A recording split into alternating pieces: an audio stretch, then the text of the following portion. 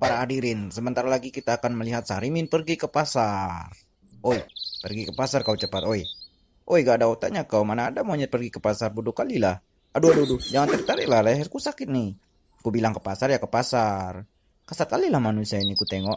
Aduh, aduh. Anjing gak ada otak kau ya, suruh-suruh binatang seenaknya aja. Mau ku pecahkan ginjal kau ya, ah? Waduh, kasihan banget monyet itu disiksa. Dasar manusia punya jantung tapi nggak punya hati.